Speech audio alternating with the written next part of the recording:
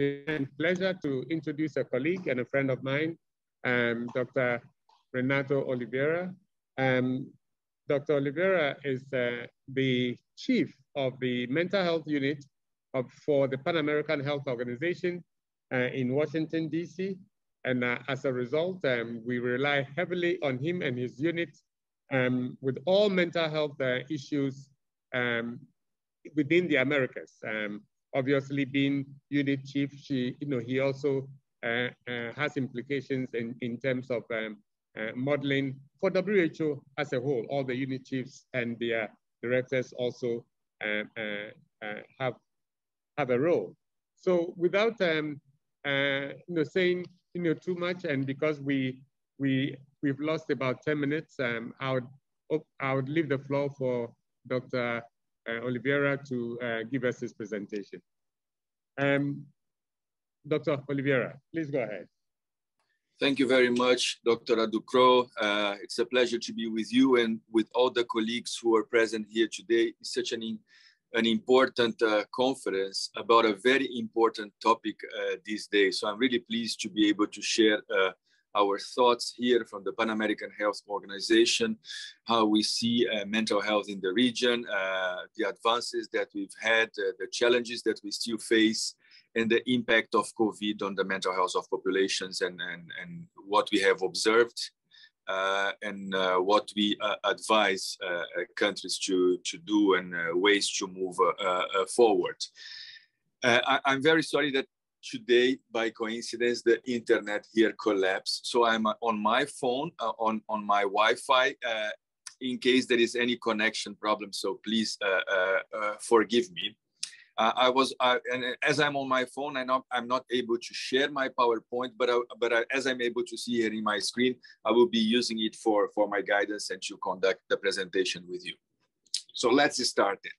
I think it's very important that we, we, we try to present a, a, a, picture of where we are as a region in terms of, of, of mental health. And it's a very uh, brief uh, uh, picture, but I hope it gives you about an idea in terms of the challenges that we have been facing even before uh, uh, COVID. We know that mental, neurological, substance use disorders and suicide, they, they represent one third of the burden uh, related to, to disability in, in our region. So one third of the disability in our region is due to uh, mental, neurological substance use and suicide uh, uh conditions.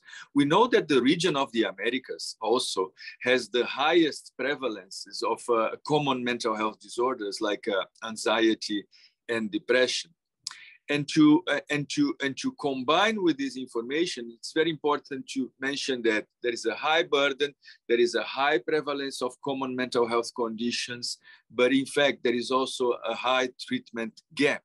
So in, as a region overall we know that uh, the majority of people that need mental health care they do not have uh, access to, to treatment in some places in our region, this treatment gap can reach up to 80%. So imagine 80% of people with, uh, with, uh, with mental health conditions not having the treatment that they would need uh, uh, to receive. To bring also another piece of this picture, we know that our region faces a, a, a, a harsh history in terms of uh, uh, people living in long-term uh, psychiatric institutions.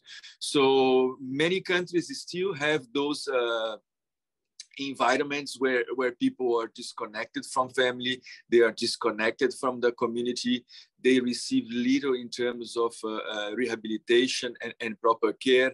And many of those uh, old institutions are still uh, places where there are human rights uh, abuses. The region has put forward a declaration 30 years ago called the Declaration of Caracas with a regional commitment to end those long-term institutions and to shift the model towards community mental health care close uh, to the community, integrate mental health integrated into primary health care. There are advances. Number of long-term psychiatric beds have been reducing, but there is still a long pathway to uh, advance. We also know that one mechanism to try to improve the situation of people living in those institutions is to, is to have mental health laws that uh, are aligned with the Convention on the Rights of People with Disabilities. But when we review the laws of many countries, we know that uh, there is again a long uh, road to, to, to advance in terms of uh, protecting autonomy, capacity of the decision, and, and, and making sure that people with uh, psychosocial disabilities have the same rights as any other uh, people. So we, we also, uh, that's another piece of the picture, a history of long-term institutions in our region. And perhaps to complete uh, uh, uh, with another detail of this picture that I'm trying to pass to you, Uh, uh, suicide is a very important problem in our region. Of all WHO uh, uh, regions, the six WHO regions, our region, the Americas, is the one where the regional suicide rate has been decrease, increasing in the last 20 years. We are at, regionally speaking, we are at nine per uh, 100,000. We have countries in our region with very high suicide rates. Uh, Guyana is one of them. Suriname is, is another one. Uh, uh so uh, we know that there is an average of almost uh, 100,000 people dying per, of suicide per year in our region. the suicide mortality, as I've mentioned, has been increasing in our region at a rate of 17% in the last uh, uh, uh, 20 years. So it's another problem that we have in our table and that we need to find ways to address. We also acknowledge that there are countries and subregions that have been advancing, uh, uh, suicides have been decreasing, but there are subregions in our region where the suicide rate has been increasing over time. And this is mainly North America and the Southern uh, uh, cone. The Caribbean, as a sub-region, although having very high suicide rates, we know that those rates have been uh, uh, uh decreasing over time. So there is, there is good opportunities on, on building on lessons learned.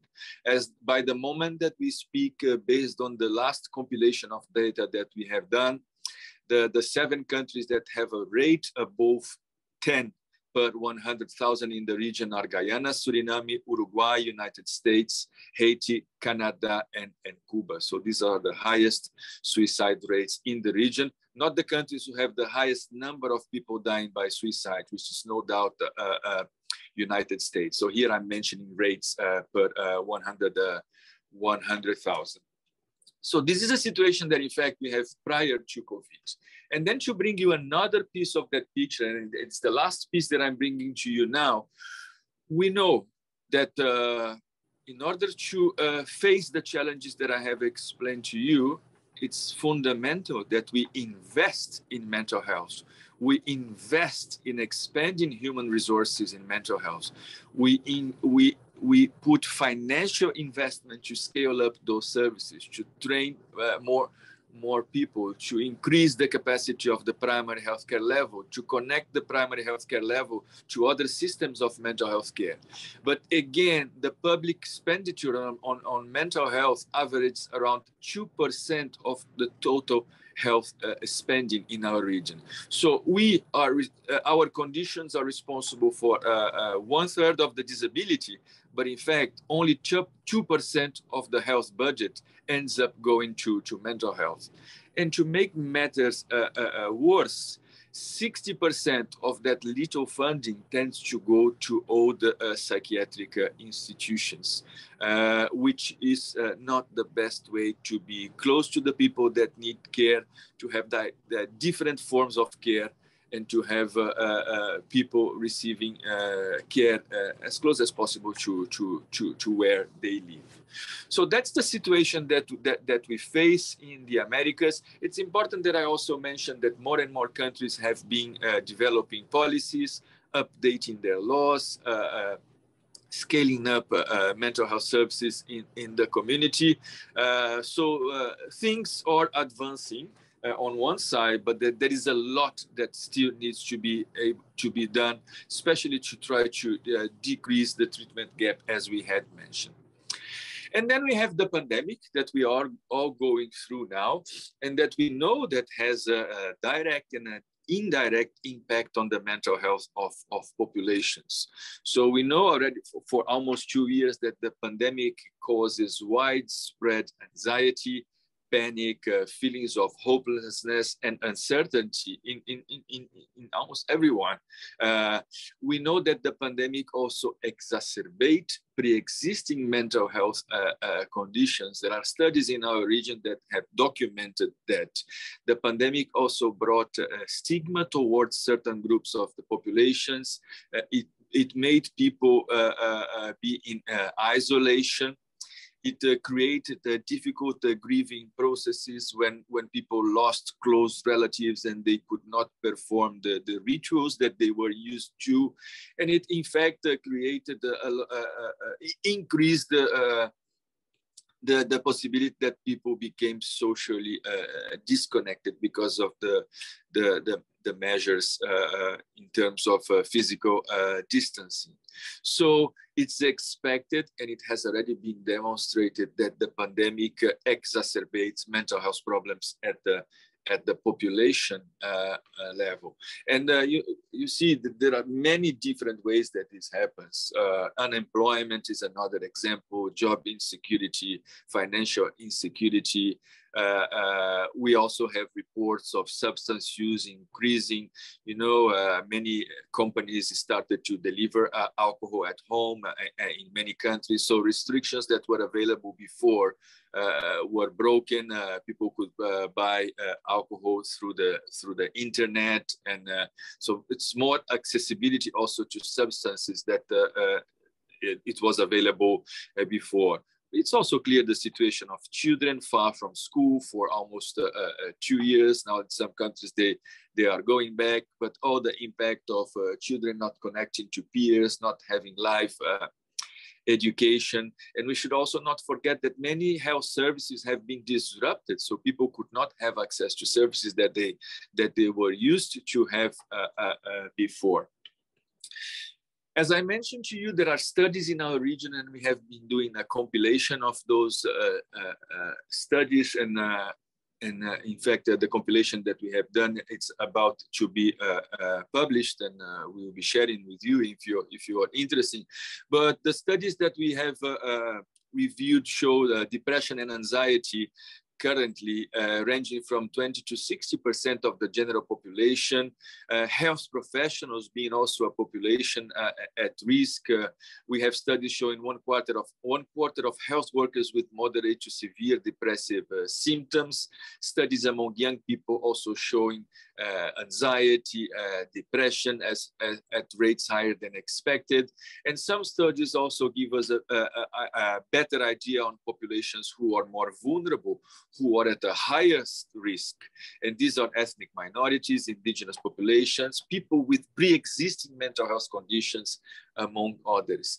There is a, uh, there is a study who has been conducted by, by the World Economic Forum, where in fact people were asked uh, many aspects of their life, but one of the questions was, uh, how uh, has been the, the change in your emotional and, and, and mental health since the, the, the beginning of the pandemic?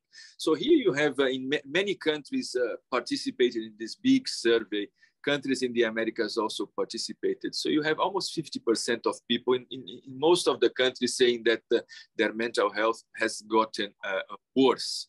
And then you have uh, around uh, 10 to 20% of people really describing that the, their mental health, their emotional status has gotten a lot uh, uh, worse. So then we have a deterioration of the mental health status of populations so we would expect that in fact uh, uh, there are systems in place to support people in these times that are that are very difficult for for for everyone to go through we have conducted together with the WHO two rounds of surveys where we try to better understand what is the status of health services, especially essential health services presently during the pandemic. We had the first round last year and we had the second round about two, three months ago. So uh, there were different questions, uh, focal points from ministries of health answered the questionnaire. And when we compiled the data, uh, we are able to compare, okay, which services are more disrupted, which services are less disrupted. And, and not to our surprise, mental, neurological, and substance use disorders services are the most are the ones that the majority of the countries described a disruption during the pandemic. So in fact, 60% of the countries in the region, out of 27 countries who answered the questionnaire, they described that their mental health services have been disrupted, with around 10% of those 60% describing that more than 50% of, of mental health services have been uh, disrupted. So uh, unfortunately, we are leaders in terms of disruption of health services during the pandemic. Just to give you an idea, 60% of the countries reported disruption on mental health services, as I have described, immunization 55%, communicable diseases 49%. So we have a big problem in front of us. Uh, when people need the most, the services are disrupted. And there are many reasons for that. We know uh, people have not cannot go to the health service to the mental health services that they used to go many times we know that some countries have shifted professionals from mental health services to other types of services to respond to the emergency there are there are many reasons uh, i think uh, uh, they are lo uh, logic to understand the reasons but the fact is that then the mental health services are the one uh, uh, facing the, the challenge of how to address the needs of people when they need the most but in fact the services are are, are not functioning as before. And as I mentioned, the uh, suicide uh, before, I, will mention here again because, in fact, uh, in the same survey, uh, in this second round that I had mentioned to you, uh, almost 60% of the countries describe that their suicide prevention programs have also been uh, disrupted. So you see, uh, not only here when I'm talking about suicide prevention, but also when I was talking about general mental health services disruption, we are talking about services that many times they save lives. Uh, uh, a treatment center that uh, helps people with alcohol withdrawal is a life-saving uh, activity.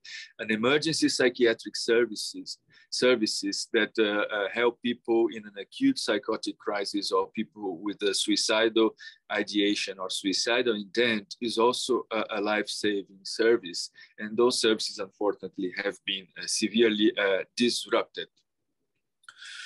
Well, at the same side, at, uh, on the same side, the UN and the WHO have been trying to bring mental health on the top of the agenda during the COVID uh, uh, pandemic.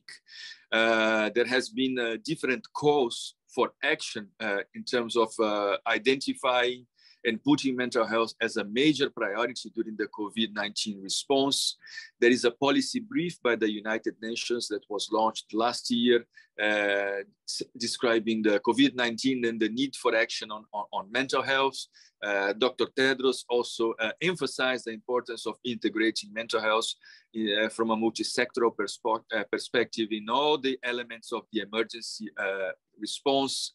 COVID has also, mental health has also been COVID in, in, in different funding opportunities in terms of global humanitarian response Uh, plans. Several guidelines and several material have been also uh, uh, produced in the international scenario.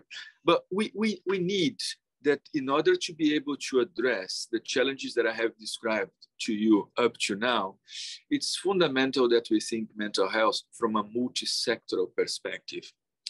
We, it's not time anymore that only us health professionals or only us health professionals take mental health seriously. We need to think about a whole of society uh, approach. We need to work comprehensively and in a coordinated way. Everyone has a job to do in terms of improving the mental health status of, of populations. When we have those mental health conversations, we need to include healthcare in general, but we also need to include education. We need to include the employment sectors. We need to include the judiciary. We need to include housing, social welfare, and all other relevant sectors, because all of them have something to do. And especially if we also take into consideration the important social determinants of mental health that have been so impacted during, during, during this pandemic. So again, a whole of society approach with the commitment of everyone of all levels of government is what is really necessary to address the enormous challenge that I have described up to now. So we need leadership and we need governance. governance.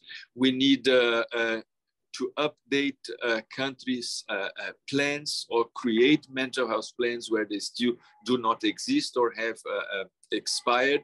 And that is something that we also have been trying to do a lot with countries is to support countries to create coordinating mechanisms in, me in mental health and psychosocial support to act in a coordinated way in the response uh, to, the, to the emergency. With the burden that I have described, to you up to now and the increased burden that the pandemic brings, this coordinated response need to find possibilities to increase the coverage on community mental health services to support adults and children with mental health problems. Uh, we need to take this opportunity and the visibility that COVID has brought to mental health, because that's that's uh, that's something that the pandemic has brought. Uh, probably people did not speak about mental health as we speak today. All of us somehow have been affected or have a family member affected and is facing, facing the emotional burden that the pandemic brings. And this brings visibility because this brings recognition of the role and the importance of mental health in our lives. So this is this window of opportunity needs to be used for us to work together to increase the availability of mental health at the primary healthcare level by training different actors on psychosocial skills and mental health. Everyone has a, a, role to play. Mental health is not only the job of professionals. Uh, I'm talking a lot about services here, but as we mentioned the determinants of mental health, we need to find ways that promotion and prevention is also prioritized. Uh, policies that are created during the COVID and will be created afterwards on, on, on poverty reduction, on housing, and on un unemployment to help people to, to, to, to advance uh, and, and face the, the, the hardship that the COVID has brought need to also include mental health elements. So that's another opportunity that we have to work in a multidisciplinary uh, uh, way. Uh, uh, as children are going back to school, that's another big opportunity that we have to integrate mental health elements into the school uh, environment. And no doubt, if we want to do all this that we are describing up to now, to be able to learn if we are doing right or if we are doing, doing wrong and to adapt to, to whatever might be needed to, to adapt, uh, adapt based on lessons learned, we need to strengthen mental health information systems, uh, improve the use of mental health indicators, collect better data. So this can all inform the decisions that we need to be, to be taken. So we at PAHO, we also have been trying to, to, to play our role. We have been very close to countries during the pandemic. Uh, uh, we were able also uh, to increase uh, our team, the mental health unit uh, that had uh, 10 people in the past. We went up to 53 people at some, recently consultants who have been helping us to deliver many courses together with ministries of health. We have done courses on, on coordination mechanisms in mental health and psychosocial support in Spanish, uh, in English. Uh, we have expanded the courses on MNH gap, uh, especially training uh, tutors so they could uh, scale up training at the country level. A lot of support, and we even created a community of practice on remote mental health interventions because this is also a lesson learned during the pandemic that we can do much more in mental health when we bring uh, digital interventions to to to to to our uh, uh, field. And in the and, from a multidisciplinary perspective also we have been doing and delivering courses on uh, literacy uh, in mental health uh, courses for journalists on mental health and, and talking to the media community leaders uh, so, and, and, there is a lot of material on mental health, communication on mental health that we have developed, and they are all available in our uh, uh, website. Uh, so please access, uh, we have a specific web page on, on mental health and, and COVID that puts all this that I'm saying today together and, and has material that uh, can be used in different situations when communicating about mental health, when deciding to scale up uh, services, uh, and also helping to monitor uh, uh, mental health status of populations and mental health and the development of mental health services. So I think my last message here to you is really to, to uh, stimulate all of us to take the opportunity that COVID brings and uh, find uh, all possible opportunities to scale up uh, uh, mental health. it's an opportunity that will strengthen the response that we have today towards this emergency, but that will also help to strengthen the system, the mental health systems that already exist that will help people to go through the pandemic and after the pandemic. And, and when mental health systems they are they are strengthened, they will also be better prepared to future emergencies that we are going to face.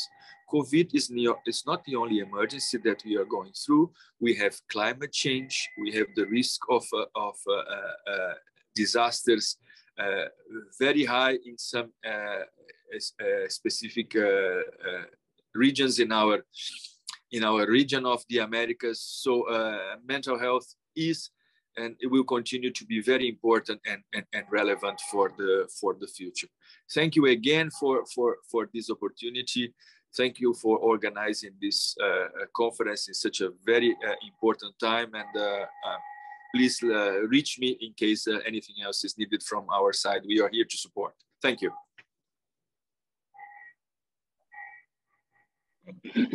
Oh, thank you, Renato. well, thank you, um, Renato, um, for the presentation. Uh, there are there are many issues that you've that you brought out um, uh, that I didn't know uh, as well. Um, there are challenges with with with with COVID uh, for mental health, um, but as you indicated, there are also opportunities. Um, the highlights on mental health uh, gives us the opportunity to, to scale up uh, uh, uh mental health uh, in the services as well. My question is, and uh, I've, I've, um, I've sent a note to those online um, to, to ask you know, questions as well. My question is, you mentioned moving from institutional mental health to community mental health. Um, with the advent of, of, of COVID, a lot of persons are already within the communities. What do we do to cement this post-COVID so that, like you said, um, we do not um, uh, disconnect persons once they are in psychiatric you know, hospitals? Over.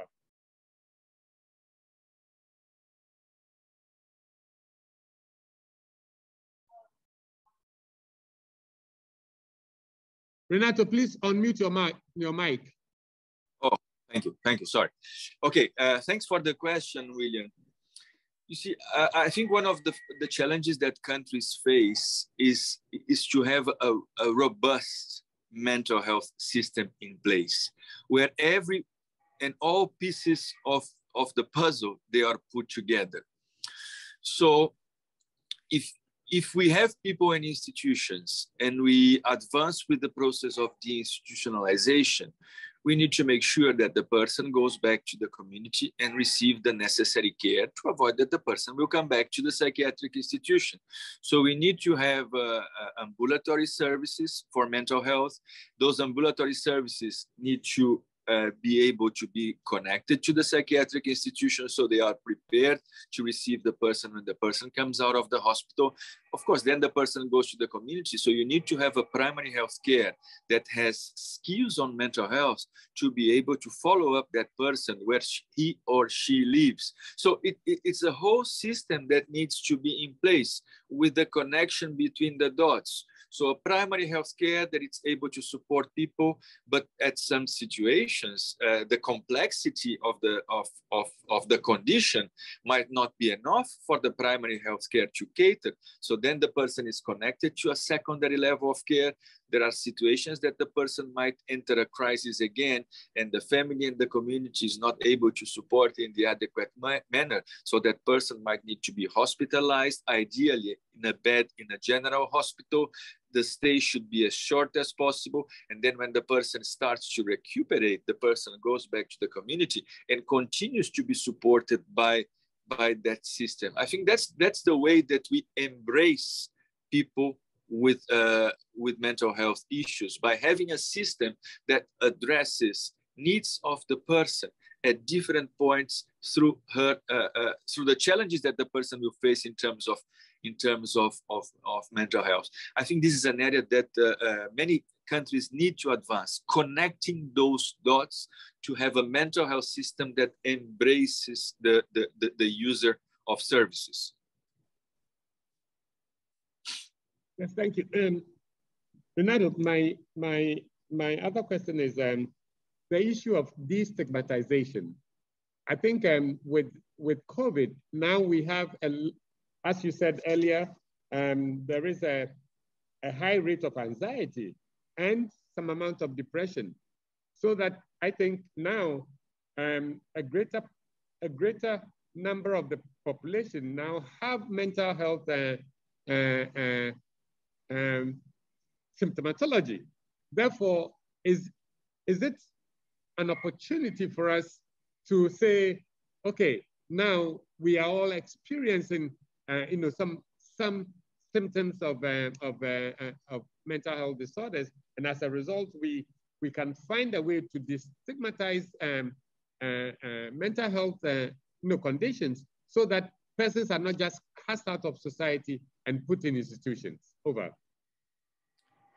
Yeah, no, uh, you're right, William. Uh, in terms of uh, stigma and, and trying to combat stigma, uh, one piece of work that we have been trying to do here. We have launched this year two uh, uh, anti-stigma courses, mainly for health professionals. This is a collaboration between PAHO and the uh, Mental Health Commission of, of, of Canada. And we know that a key ingredient on combating stigma towards mental health issues is to strongly involve people with lived experiences. So the, the, the those courses that we have been conducting uh, for health professionals on combating stigma, they are led and many times the, most of the sessions are done by people who faced mental health issues and openly come up and describe uh, what they have gone through and uh, what they have been able to achieve. So then the attendees, they see, well, uh, they are not that different uh, uh, uh, from me. look at what they have achieved. So I think this moves the community towards reducing stigma.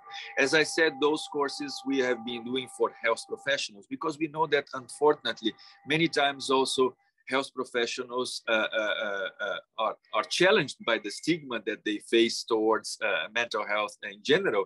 And this blocks their capacity to talk openly and to ask proper questions to people with mental health issues.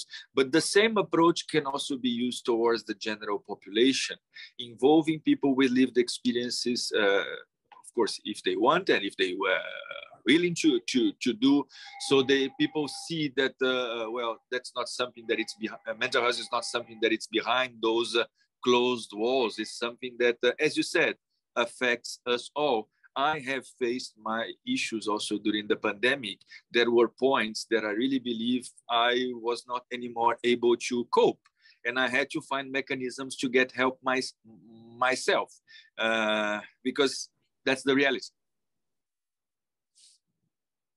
Well, thanks so much, um, uh, Renato.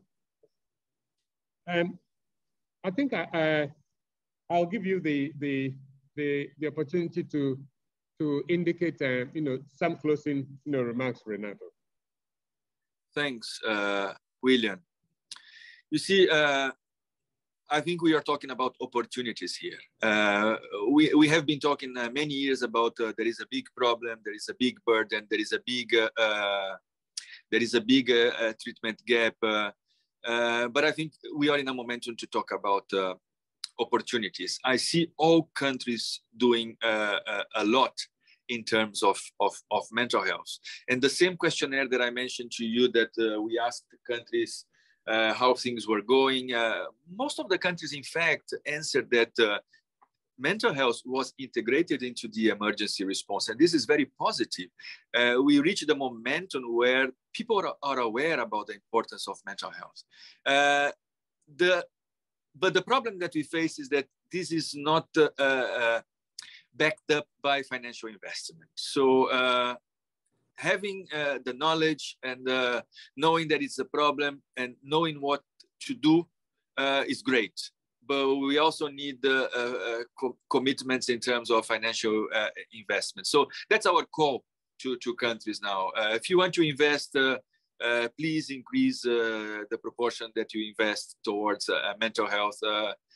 we know that there is return. There are several studies on return over investment that shows that you put money on mental health, it reverts more to, to you as a society to you as a government because people function better they are able to uh, go back to work and the society profits as a whole. So there is economic uh, uh, uh feedback on investing in, in, in, mental health. So so uh, uh, that, that that's what i really invite everyone to think about and, and and help us all to move forward. Thanks william. Thanks very much.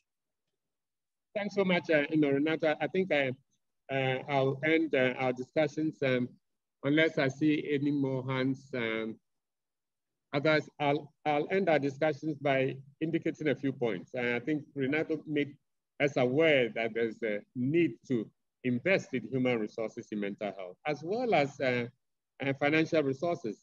I think um, uh, all governments, um, and certainly in Guyana as well, all governments in the, in the sub-region as well as in Guyana, we need to put a lot of resources in mental health. Um, as Renato said, mental health um, uh, is usually one of the neglected areas. Um, and, um, and once someone is put in an institution, that is it. And very little money is put into mental health to start off with. And a lot of that, very little that is put there, is put in the institutions. I think we need to continue to um, look at uh, increasing community mental health, um, both in the area of uh, human resource uh, as well as in the area of um, uh, uh, financial resource and material resources as well, whatever is needed. The other thing I would like to uh, mention um, with respect to the human resource is to make sure that we have all cadres of healthcare workers within mental health. So we need public health me mental health nurses, we need um, community mental health nurses, we need um, uh, psychologists, we need psychiatrists, we need social workers. and um, we need these persons to be able to function. And as Renato said, uh, once we have good mental health service in, in, in, in, the country, productivity also increases and everybody wins. I think one other point that uh, Renato made, and I would like to um, uh, come back to that, is um, there's a need to have everyone on board.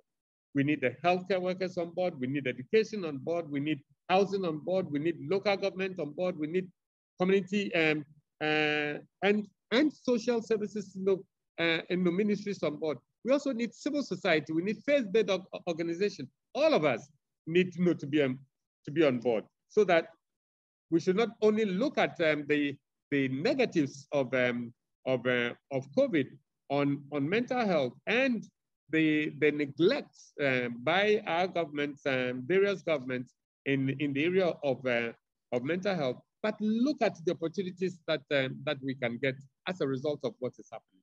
Um, I've learned a lot uh, uh from, from uh, Renato, and uh, I am hoping that um, Uh, our, guests online uh, have as well.